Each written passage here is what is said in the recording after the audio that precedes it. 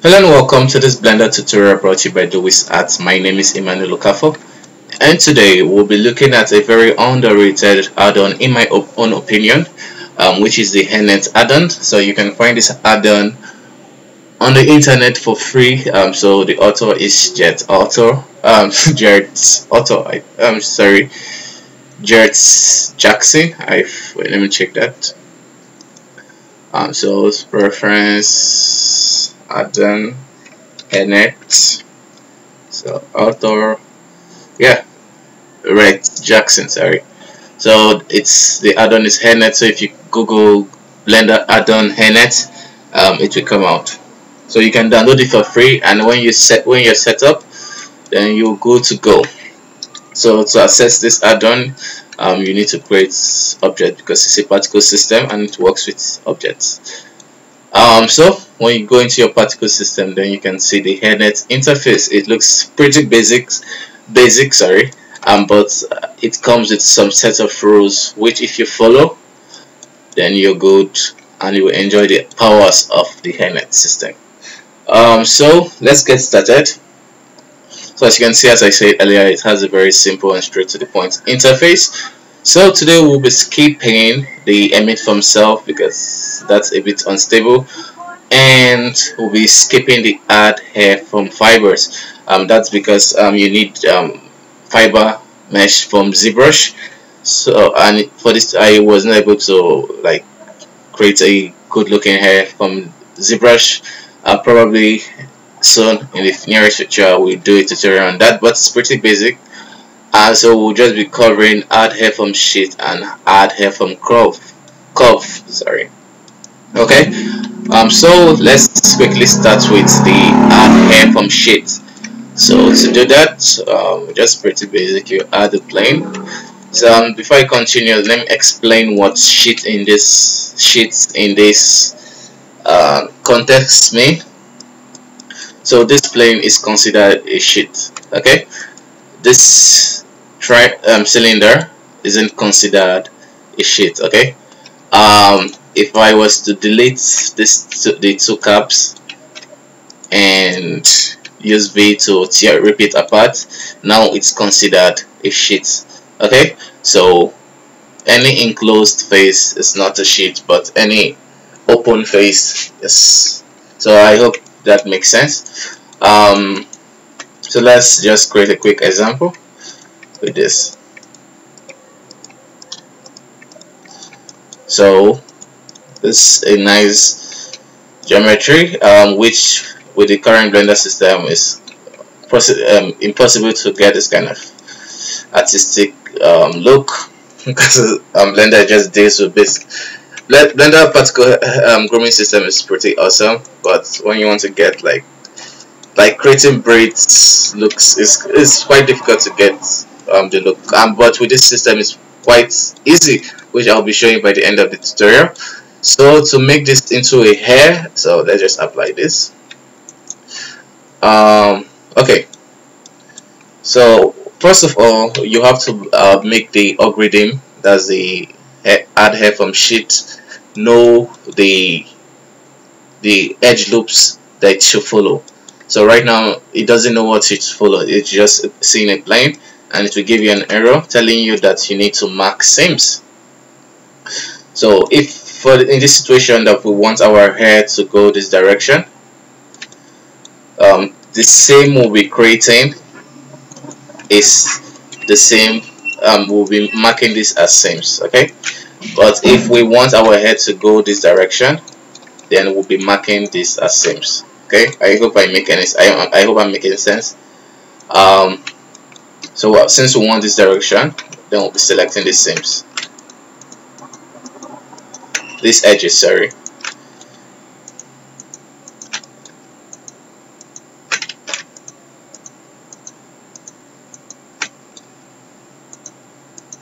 Just select it. Good.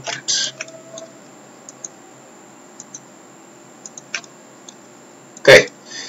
And then control E maxing so we are good to go so it's a good um, principle to always apply your rotation and scale and center your origin to the geometry in any simulation or modification so that you're working with the accurate scale and you don't confuse the algorithm.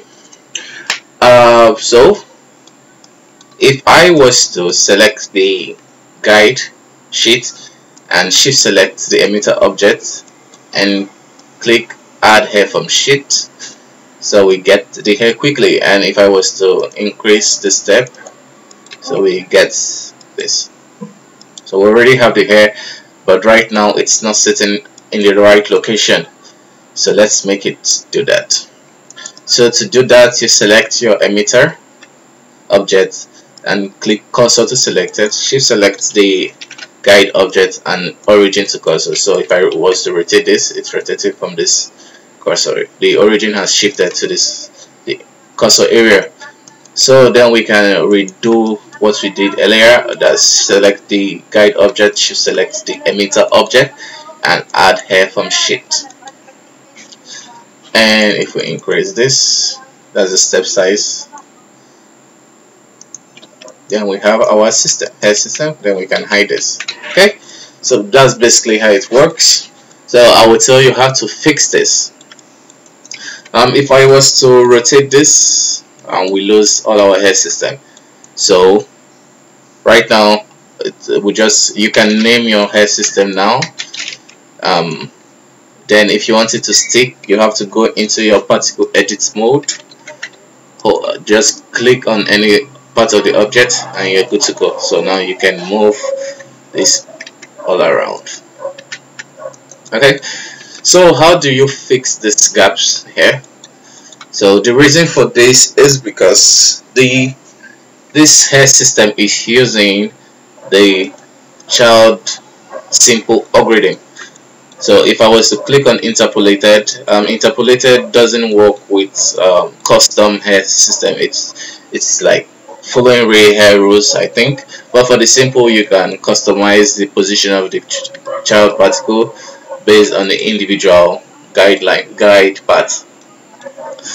So um, for you to have like interpolated like you don't have this on not you want to avoid this kind of gaps you have to assist the system to do that.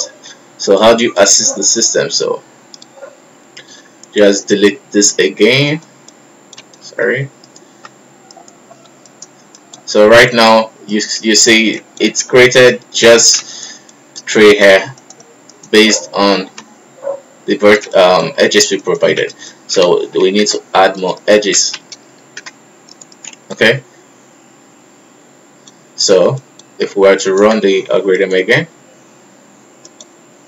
so this time that is fixed okay? So that's basically that. And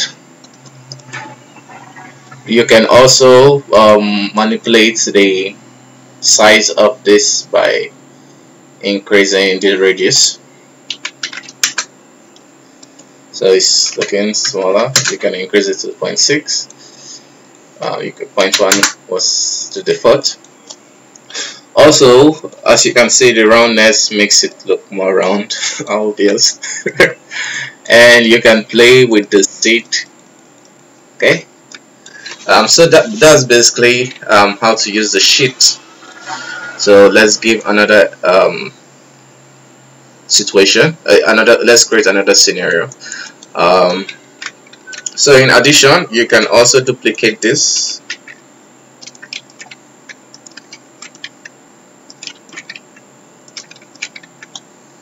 so it's still one object right and just click here from hair sheet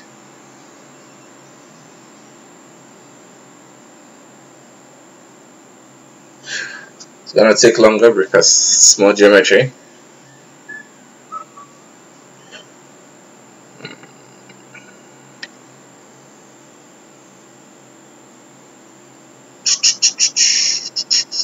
Okay, so it's done. Um, just increase your step and voila, that's your stuff. How cool is this? Um, so what is the rule behind this? As I said earlier you need to follow rules.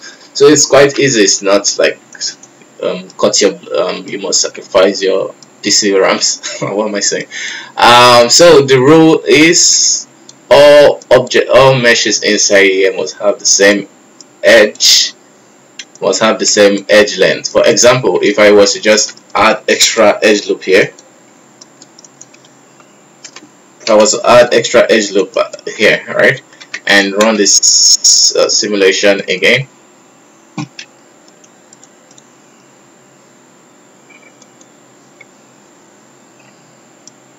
will take a while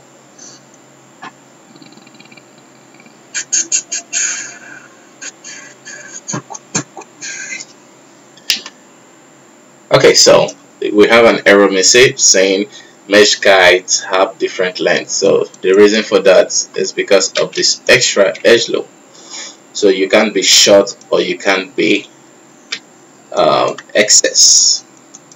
Uh, you, you must not it must be equal everywhere. Um, and that's the basic um, rule either either in the sheets creation um, sheet guide or even the curve guide hair guide. So that's basically that. Um, if you follow that you're good to go. So we'll be looking at the next one which is um, hair from curve.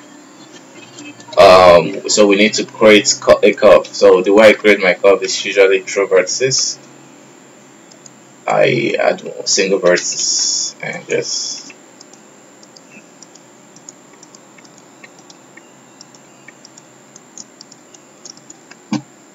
So add subdivision, place it here. So if to convert a vert or a mesh to a curve is con Alt C curve from mesh. So we have a curve now. And you can also play with the curve type, but this path type is okay for this. And same drills, same drill. Uh, cursor to selected, origin to 3D cursor. Uh, sorry, wrong one. from curve. So voila. So you have it. That's. Like I said, it's really easy. So same thing applies for it if you were to be one shot and run this. So you have mesh guide have different lengths. So you have to be equal let's subdivide this and run this so as you can see we're also having that um, gap space so you have to, if you want your if you want to have volume you have to put it um, together just move this sorry move this closer so the more closer the, it is, the more the algorithm is treating like one volume. So for some movie like this, it will just treat them like two different volumes. So if I run this again, as you can see, it's treating like two different um, strand emitted. So that's basically that. So now let's go into um, the example for today which is creating this braid so I've created the braid and I've gone ahead and done everything as I said earlier with the principle of using a cylinder and how to turn a cylinder into a sheet which is basically just ripping up an edge so it's open. And also the principle about the creating edge um, edge what is that uh, seams to be able to mark the to be able to direct the algorithm on what on what loop to follow. Um, so that's basically that same thing I did. And if I was to select this emitter object and so I've already set the origin with the emitter object from sheet uh, so you've created that and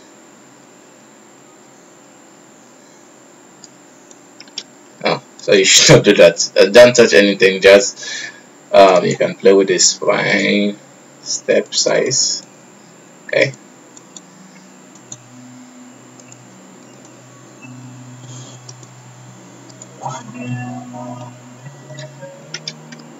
I want to change the render type to hair so you can see it clearly. So yeah we have our braid uh, also I want uh, it's still big for what I want. I want to reduce it to 0.6 so it's more visible because if we add more children particle um, let's increase that a bit 0.8 okay so it's looking okay so a cool trick for enhancing the reality of your mesh of your hair. Because right now it's looking good but it doesn't look like a real hair. So let's bump up the realism. So just some quick um, fix here. So you'll find this random size and threshold. So I want to set this random so I will just tell you what it does individually. So if I was to click on random I think I'll reduce this so we get a quick preview. So if I was click on random, so it's randomized. Uh, you may ask what's the use of this, right? So if I was to click on size like 0.4, so it makes it more, it like it, uh, it looks like it added more subdivision. So but the threshold, so so you're reducing the range. So if I go 0.83, so it's there but not so much so. I increase the random it's like the intensity. Um, 0.5 just to break up the perfection. That's that uh, oh so I think that's a cool looking braid so that's basically that. So I hope this tutorial was helpful. Um, stay tuned if you want to learn more about this or you can just post questions on hairstyles I can try out for you guys or any tutorial. In short if you enjoyed this video please give it a thumbs up. And if you want to see some more from me don't forget to subscribe and click on the bell icon to get notifications when I post new stuff. So bye bye for now. See you next time